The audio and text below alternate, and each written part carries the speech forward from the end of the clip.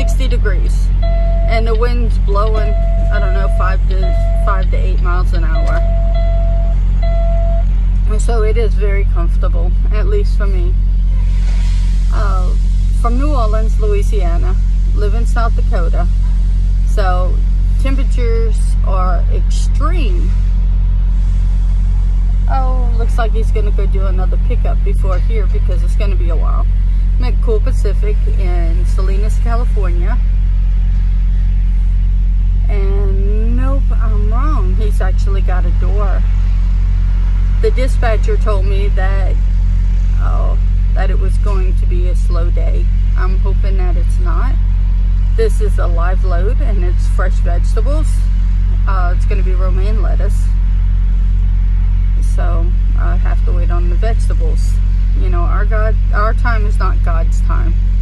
And only He knows when the vegetables are going to be, you know, ready. And they have to be harvested and then washed and cooled before they even get on our truck.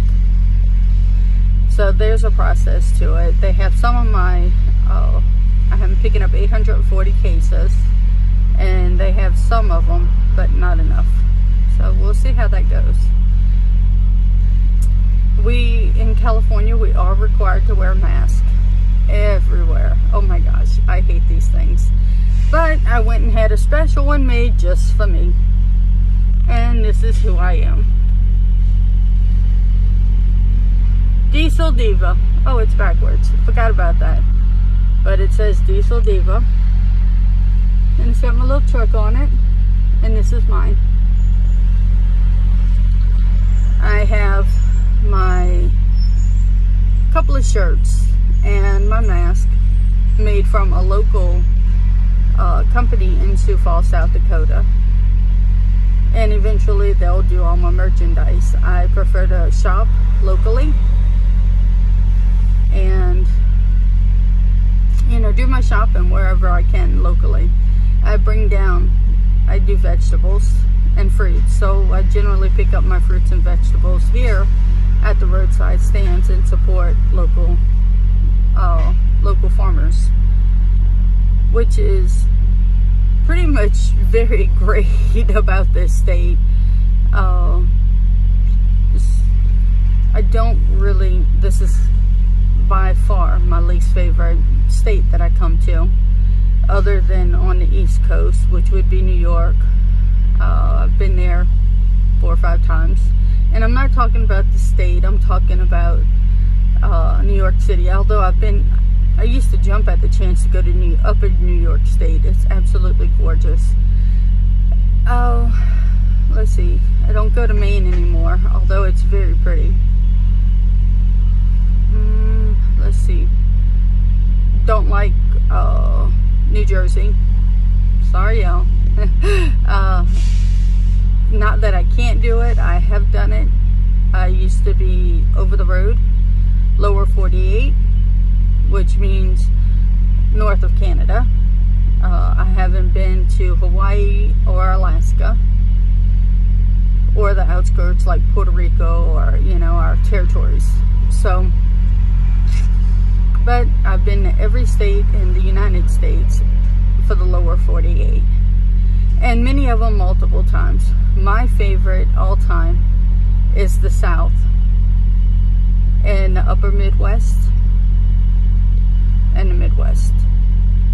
Uh, my seriously home is will always be Louisiana, Mississippi, and Texas. Uh, I have family all up in there. Absolutely love it. Uh, but because of my job, I moved to South Dakota and have not regretted it. The money is good. I have a good record. Uh, no tickets, no anything. I had one ticket for the state of California. Of course, y'all watch out and be safe when it comes to Kern County. Uh, I was at a truck stop over in,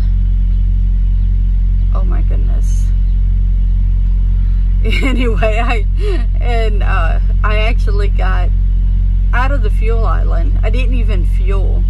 I got out of the fuel island because I just ran in to go get me a cup of ice. Got in my truck, moved it up, you know, from the fuel island up one. And I got stopped by a uh, state trooper. and because I was not, I was technically stand, sitting behind, and I was, he got me.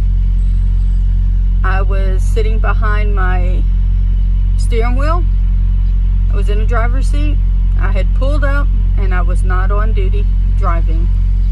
And that was a, a $780 ticket, y'all. And Lost Hills. I was in Lost Hills, California when that happened. $780 they got me for violation of logbook. So it is real and it is serious. Uh, needless to say, I paid it. I'm very, very blessed with a husband who never complains about, you know, well, my husband complains, but, you know, he just, he's understanding. Uh, my husband is German, so our uh, values are somewhat different. And what I get mad about, he doesn't. what he gets mad about, I don't. So it's kind of weird. Uh, but we make it work. And no shame in that. Compromise and understanding, communication. Doesn't matter if it's a marriage, a friendship, a working relationship, or with these shippers. Communication, which is something else I want to talk about because in California, majority of your shippers are bilingual and most of, well, about half of them speak nothing but Spanish. And communication skills and uh, understanding and miscommunication is very, very real here. Some of them just plainly don't speak English and they don't understand you, so sometimes they have to go get somebody. Sometimes we just slowly work it out, you know? I mean, if we go slow, if they go slow, it can be reached. I learned that a long time ago. Uh, I have only had a few incidents where the shippers, which were all Spanish or Latino, uh, I'm not politically correct, y'all, so that's just something y'all are going to have to overlook if y'all are going to stay tuned with my channel. Uh, I'm straightforward, I'm honest, and I'm going to tell you like it is. But sometimes you just get people that are downright nasty and ugly to you. Uh, I would I don't want to say racism because it's not racism. To me, it's uh, ethnic differences that are a problem. You know, whether it's they don't like the way you look at them and I say that because we have so many different ethnics out here. Uh, some some religions, some people think if you look at them straightforward in the eyes, which I always do, I give that respect. I like that respect.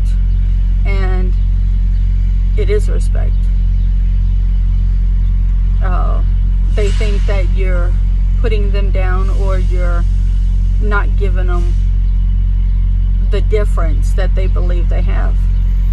And I don't bow my head to anybody. I don't care who you are. I don't care what religion you are. I don't care where you come from.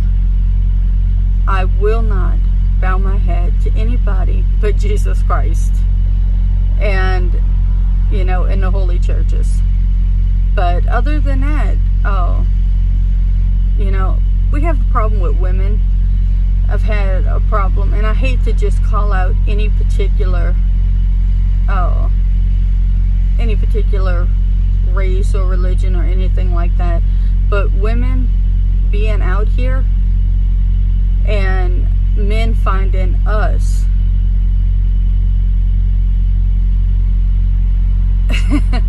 uh, inferior, to say a lack of a better word, because they do. Some of them will. They feel very intimidated that we take a part in their male dominated jobs, especially truck driving. I mean, I've done a lot of male dominated. I was a single mother of three for 15 years. Uh, marriage in here, marriage out there. Uh, that's, but it's just straight up. You will, if you're a female, you absolutely will come into male chauvinism. Get used to it. It is what it is.